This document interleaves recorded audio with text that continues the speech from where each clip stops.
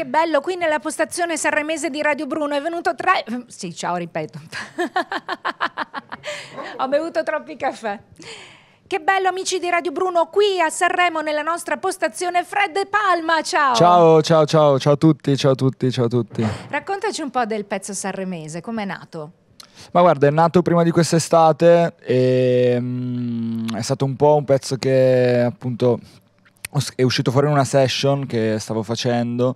Diciamo che non è nato eh, prettamente appunto per fare Sanremo, però poi mi sono reso conto che era il pezzo giusto per farlo perché mi rappresenta proprio al 100% in questo momento. E niente, sono contento di cantarlo sul palco. Comunque la prima volta è sempre un... Un impatto forte. Forte, sì, sì, sì.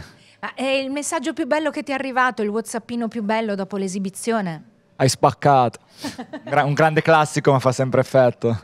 Però è proprio così e spaccherai anche venerdì, nella serata delle cover, insieme agli FL 65. Sì, bellissimo, non vedo l'ora di stare sul palco con loro, io come ho detto anche in altre occasioni sono un mega fan, eh, proprio da quando ero ragazzino, quindi veramente totale.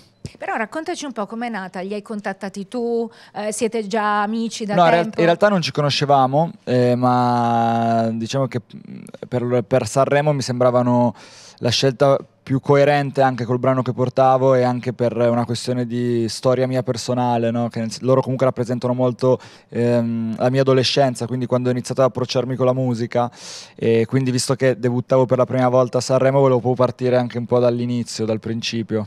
Eh, come hai affrontato questa avventura, anche proprio mentalmente, per eh, mantenere la concentrazione in tutti questi giorni? Ma guarda, in realtà finché non sei sul palco non ti rendi conto di cosa stai facendo. Poi quando sali sul palco ti rendi conto di dove sei e cosa devi fare, quindi insomma cerchi di andare dritto. Vabbè, però prima ci sono state magari delle prove, ti sei emozionato sentendo anche l'orchestra. Sì, bellissimo, è stato un impatto molto bello anche quello con l'orchestra perché mh, per mio parere personale hanno valorizzato molto il pezzo, quindi figo. Sanremo tu sei sempre stato fan, l'hai sempre visto da casa, c'è una canzone negli anni che ti è piaciuta particolarmente? Ma guarda, in realtà Sanremo l'ho riscoperto negli ultimi anni e vabbè, ovviamente lo guardavo da, da, da piccolo con la famiglia, eccetera. E, ma uh, in questo momento di una canzone anche del passato? Certo, Ah, sì, ok, super, sì, sì. allora Vasco. Beh, ovviamente, ovviamente, Ti sì, piace sì. vincere facile, hai fatto bene. Bene, no, no, veramente, però quel pezzo è incredibile, anche l'attitudine sul palco, cioè, totale, capo indiscusso. Con questo allora salutiamo Fred De Palma, grazie mille. Grazie mille a voi, ciao a tutti.